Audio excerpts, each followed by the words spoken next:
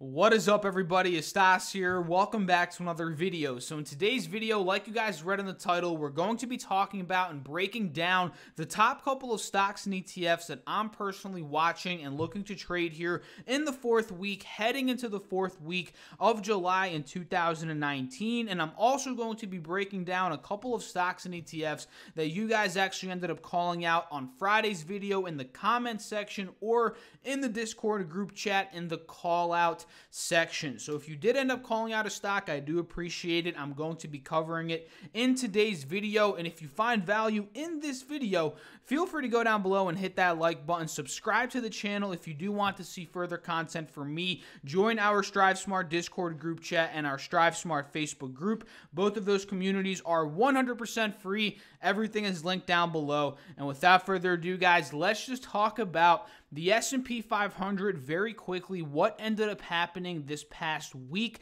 A quick little recap in under 2-3 minutes here so you guys can get a better understanding of what the overall market is looking like right now in terms of the 500 largest publicly traded US companies. So take a look here guys on the 5-day 5 minute you can see the S&P 500 hit an all-time high at about $3,017 on the 15th of July. We fell on the 16th, we fell on the 17th, and we actually hit a low at 29.73 on the 18th of July before popping up and then ultimately dropping again this past Friday, which was on the 19th of July. And if we take a look on some longer time frame charts here, starting out with the 20-day one hour, you guys can see the potential start of a head and shoulders pattern here. We actually talked about this. I talked about this um, in the previous video on Friday, I believe. And you guys can see the left shoulder, we popped up to that all-time high at 3017. We had the aggressive sell-off forming the head of the pattern, the pop-up, the retest, the look to break out and potentially hit all-time highs again, but we failed to do so because we got rejected by that 50 SMA, and then we ultimately dumped forming that right shoulder. So you guys can see if this pattern completes itself at this point, you know, we're going to be dumping below the 2975 level, which is a critical support, and this 180 SMA here, which is an, also a critical support on the 20-day one hour, and we would do something like this, and that would be the completion of the pattern, and at that point, you know, we, we might be trading at 2900, 2800, who knows, guys, and that is if this pattern completes. Let's say we pop above here. Let's say we break out of that 50 SMA. You know, that's going to be a completely different story. From there, we might be pushing to all-time highs again. But I'm saying if we break this, we start to break, you know, we could be dumping even further from there. And if we take a look at the 184 hour very quickly to take a look at and identify some supports for this upcoming week on the S&P 500, you guys can clearly see 2975 is very, very important important, a very, very critical support here on the S&P. You can see it's above the 50 SMA at 29.75, which has been a support over the past couple of weeks, as you guys can see. And 29.75 happens to be a resistance from a couple of weeks ago in the beginning of July um, before we broke out of that resistance, holding it as a new support, and then popping to those all-time highs. So the fact that we're trading above that old resistance, it's a new support right now. So that is another support that we're holding above um, at this point in time. Just know that the 29.75 level in general, if we break it, we might be going to 29.50 next. And after that, if we break that, we may be going down to 2900 flat, which would put us on top of um, this 180 SMA and so forth, guys. There's a bunch of other supports um, below this level, but 2975 is super, super critical. One to just keep an eye out for for this entire week. So that is just, just a brief market update in two, three minutes of what ended up happening this past week and some supports, resistances that I'm looking at right now, and you know, some levels that I'm just very, very closely watching for this upcoming week, guys. So without further ado, let's just hop right into it. What am I looking at in terms of stocks and ETFs and some that you guys actually ended up calling out? So as you guys saw, the markets are falling, right? The NASDAQ actually fell very aggressively as well this past Friday, and that brought down a lot of tech. So, tech right now is on a bit of a sale if the markets do end up recovering here and testing all time highs. If this does end up being a dip in the overall markets like the NQ, the SPX, let's say we recover and pop, there's going to be a lot of opportunity in tech stocks, including Amazon, right? AMZN. And that is if the markets do recover. Who knows? If the markets continue to dump, like I personally think there's a good chance that that, that happens, you know, Amazon might be dumping as well. But in, ter- in terms of Amazon right now, you guys can see that it's holding that 1950 level, which was an old resistance back from the May and April months of 2019. You guys can see, we saw a bit of a double top there. We pulled back in that May, or rather, we had that May um, month of correction here in the markets. You saw Amazon took a hit from 1950 down to about 1700, and from there we recovered. We broke out of 1950. We broke out of that resistance, making it a new support, and then we hit that all-time high, or rather that high on the time frame here at 2035, which is actually 15 points below the all-time high from about a year ago at 20. 2050. So now that we are testing that spot as a support again, this is very critical, guys, because if we hold this and then on a smaller time frame on the 20 day, let's say we hold this 1950 level, we break out of this 50 SMA we may be gunning for that 2035 spot and maybe all time highs again. But one thing that I'm noticing here, guys, is the potential bearish cross that's about to happen with the 50 SMA, this green line that's about to cross below the 180 SMA. That could signal more sell off, um, you know, in a particular stock, ETF, future, index, whatever we're analyzing. But in this case, it's obviously Amazon. So if that cross does end up happening and we break below 1950, I'm not really looking to trade Amazon Amazon at that point. But the whole idea here, let's say if this is a double bottom, we break up, we break that 50 SMA. At that point, we're confirming the bounce at 1950, which again is a very critical support. And we may be filling the gap up to 2035 at that point, and maybe even past that to potentially test the all time highs. And at that point, at this point, that's what I'm watching for on Amazon, guys. Really just to hold 1950 and to fill the gap back up to 2035. I think that could be a very good play if the markets do end up bouncing back because, again, Amazon, one of the biggest companies out there, it heavily fluctuates the market when this drops. And obviously, when the markets drop, Amazon's most likely dropping, as well as a lot of these other large companies like, you know, Apple, Microsoft, Facebook, and the list goes on, right? So let's talk about DPZ, which is another one that I actually called out a couple of days ago, and somebody in the comment section actually wanted me to follow up with DPZ because it actually did end up breaking a very good point here, which I actually talked about in the previous couple of videos. Now it's looking like it's filling up to the next gap, guys. And let me explain what I'm talking about here. On the 184 hour chart, very quickly, you guys can see a strong support on DPZ at around $245.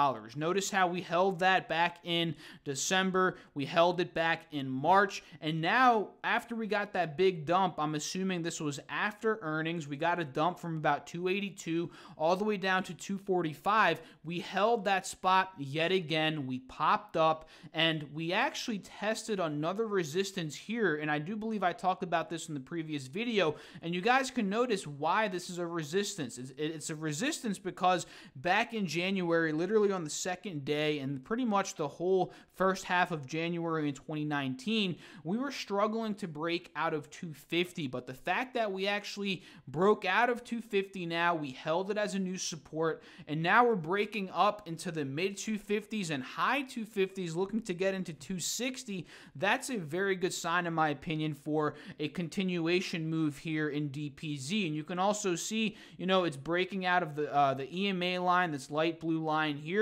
This is looking pretty good. But now, just to follow up with it, let's draw some new resistances that I'm currently seeing right now on um, Domino's. And honestly, this might be better if we go to the one year, one day. You might see it a bit clearer. So take a look here, guys. Actually, where we are right now happens to be 255, 257 ish, happens to be another level of resistance. Notice how on the 30th of July, about a year ago in 2018, that was a spot of support. We bounced above it. Um, you know, obviously that's making it a resistance up until right now because we are slightly peaking above it. Uh, so now if we hold that as a new support, that'd be very good. You can see it was a support back in 250. Uh, um, back in October at 255.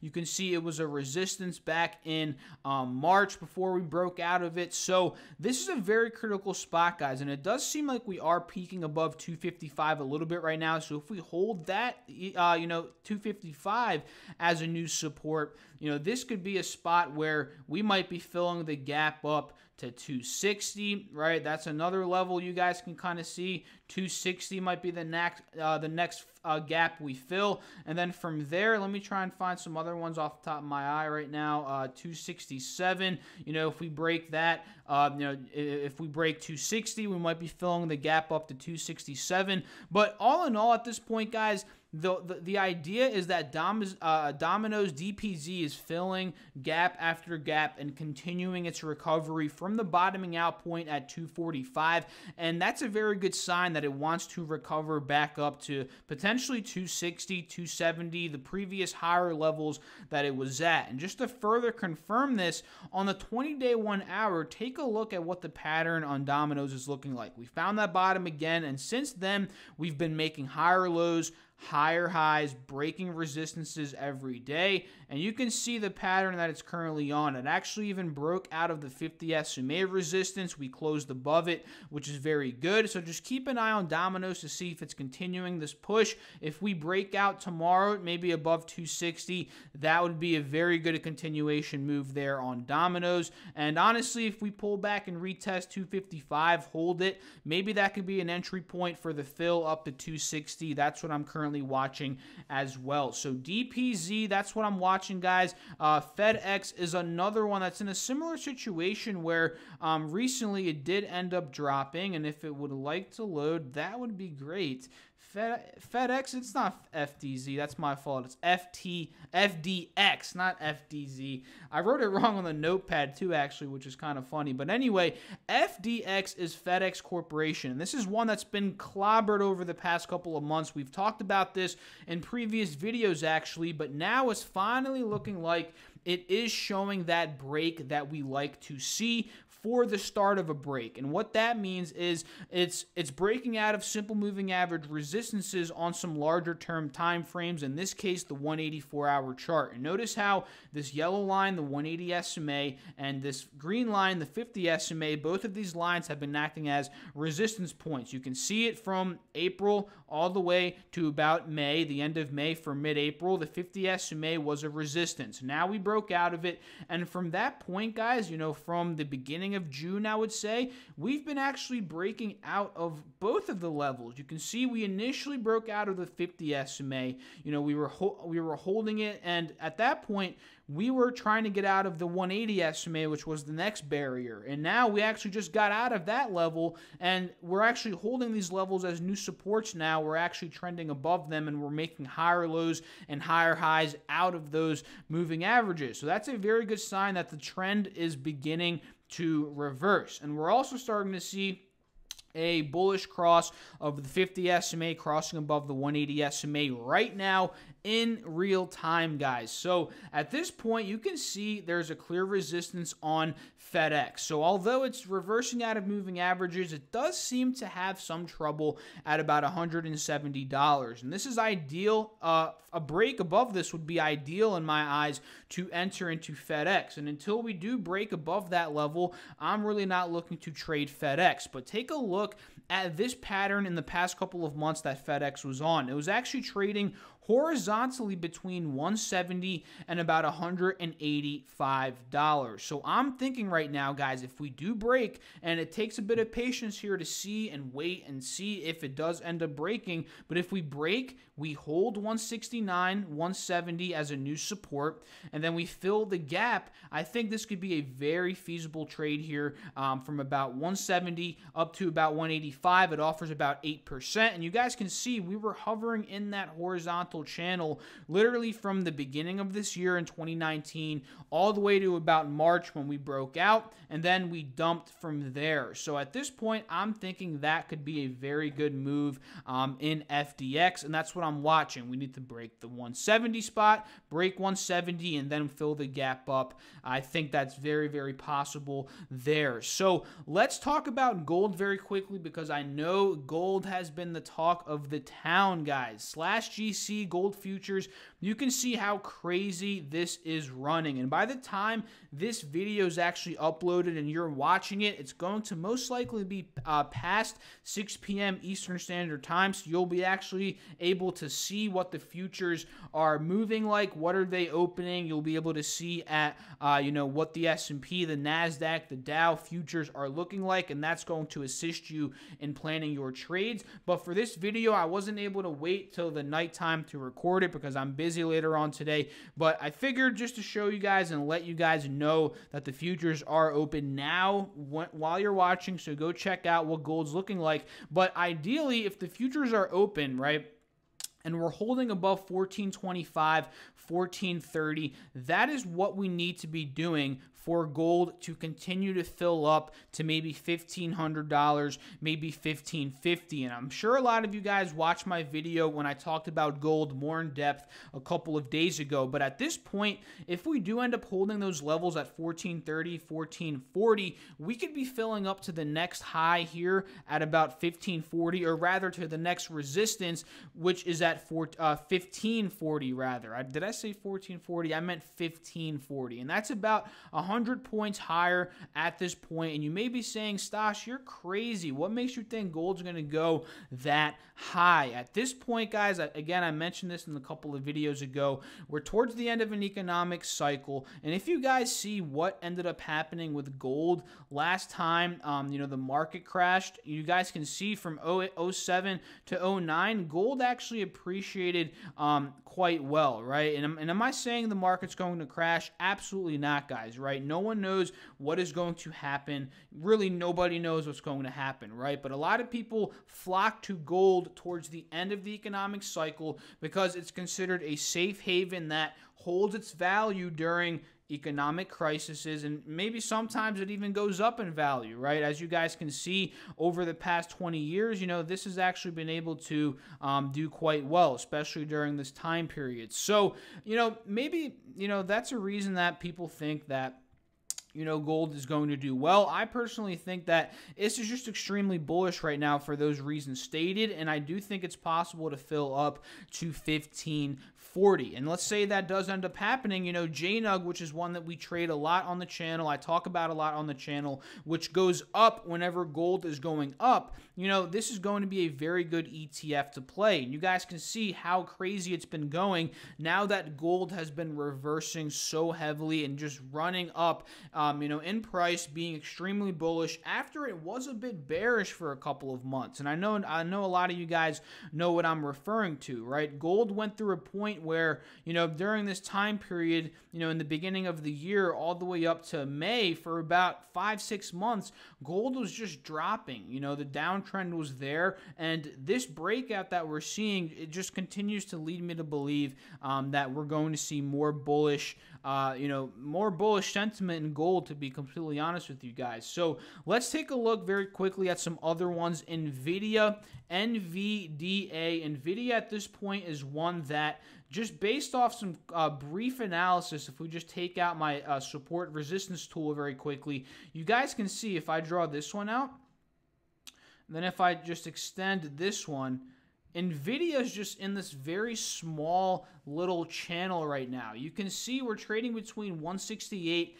and about $173. Notice how we popped to about 173. We pulled back from there and we actually held a higher low from the previous at about a hundred. Um, let me guess, uh, $155. You guys can see that we held the trend very nicely. We broke out, and we actually failed to break out of 173. We broke out of the initial resistance at about 168. We tried to break out of 173, but we failed. We pulled back, and now we're just holding that same support at around $168. So at this point, NVIDIA might pull back and retest that 50 SMA, which has been a support over the past couple of weeks. And at that point, it might be at about $165. And at that point, it'll also retest this trend line that I just drew for you guys, and that could open up a pretty interesting entry point from 165 up to let's say 173. That's about a 4 or 5%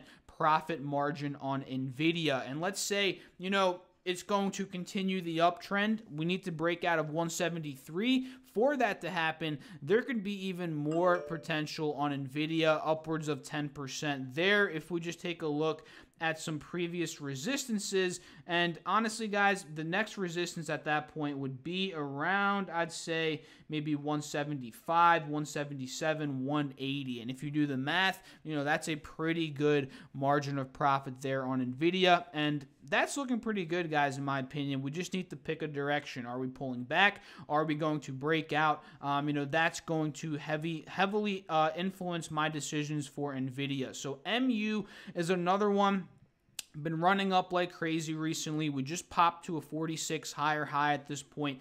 And the fact that MU is up 30%, 28, 30% is in the matter of like a month, guys. That is unbelievable. If you guys know, uh, and if you've been following me for a while, I've actually been holding MU in my long-term portfolio now for about like a year or two, and my average is actually quite high. It's at about like 54, I forget to be honest with you guys, but it's in the mid 50s. It's like 54, 53, 55 or something.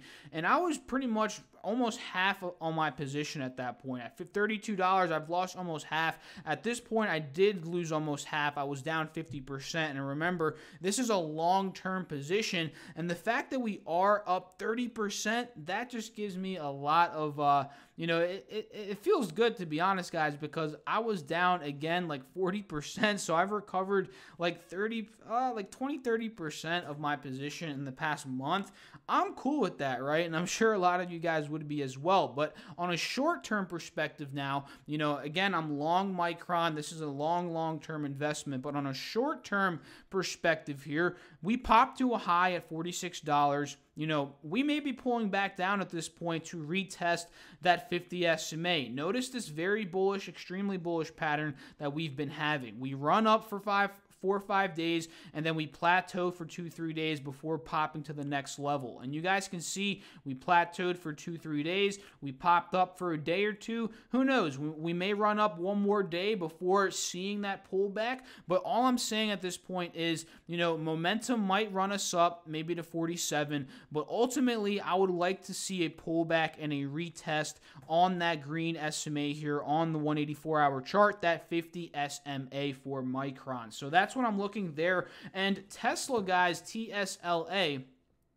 This is actually one that's reporting earnings on the 24th of July. So Tesla is one that at this point there's some a lot of actually positive sentiment around it, right? You all know about the production numbers that came out. They shocked Wall Street. The stock went up like crazy, right? And since since then, honestly, it's just been continuing to run up in price. So if their earnings, guys, if they somehow, I don't know what the forecast is for the earnings. I haven't done too much research into it, but if they somehow pull a profit, again, I don't know what the forecast is. This might not even happen at all. But if they pull a profit, guys, at this point, you know, Tesla could definitely be running up another 5 10% on that news because we know at this point Tesla is heavily you know, affected by these these news articles that come out in the media and their earnings and stuff like that. They're very very sensitive to negative news and positive news. So anything can move the stock up, guys, and I'm watching to see what ends up happening. Let's say we pull back, we retest that 50 SMA, that could be a good entry point, but me personally, I'm sure a lot of you guys know this already. I wait till after earnings before entering positions, but um, you know, Tesla here this could be a post earnings earnings play depending on how things end up going down. So that are you know, those are the uh, couple that I do have listed here on my notepad. Of course, I'm watching the market ETFs like I do every single week, guys. This is not news to people that have been watching. Of course, if you're new, this is news to you. And let me explain it to you very quickly. So, market ETFs, these are the bunch that I watch, and these are pretty much uh, you know, focusing on just market direction on the major markets. And this is the SPX and the NASDAQ. These are the ones I personally track. And the ones for the S&P 500 are SPXS, which goes up whenever the S&P 500 is selling off. So if I think the markets are going to sell off, this could be one that I'm, I'm looking to trade, right? SPXS. And this is a 3X leveraged ETF, meaning if the markets you know go down 1% let's say the s&p 500 goes down 1% this one's going to go up 3% right? That's what that means. And the inverse to it is spxl let's say i think the markets are going to go up. I'd trade this, and this goes up 3x what the market in the, uh, the S&P 500 in specific is going up. So if the S&P goes up 1%, this one's going up 3%. And then, of course, SQQQ and TQQQ. Those are the it's the exact same um uh, the exact same ETF uh, theory behind it. You know, it trades on the market, but it trades on the NASDAQ. So if the NASDAQ is going up 1%, TQQQ is up 3%. And if the NASDAQ goes down 1%, SQQQ is up 3%, right? So those are ones that I'm watching on markets, um, you know, specific markets, the S&P and the NASDAQ. I'm watching some velocity or, yeah, velocity volatility ETFs, TVIX in particular. This one trades, it does really well when there's a lot of volatility in the markets, when the VIX, the volatility index, is going up right? And when the markets are generally dumping. So, those are just a couple that I'm watching this upcoming week, guys. I hope you all enjoyed this video. If you did, feel free to go down below and hit that like button. Let me know in the comments section what are you watching? I would love to know. What are your thoughts on the markets? Where are we going? Are we getting this rate cut in the next week and a half? Is this going to dump the markets? Are we going to hit all-time highs again? Are the best days behind us? I would love to know what you guys have to think. I love interacting with you all. And uh, that's pretty much it, right? You know, subscribe, like, comment, you know, all the all the good stuff, guys. Down below in the description box, the Strive Smart Discord, the Strive Smart Facebook, my Instagram, Twitter, everything's linked down below if you want to be a part of it. Well, and uh, that's pretty much it. So I'll catch you all in the next video. Have a great rest, rest of your weekend. Peace out, guys.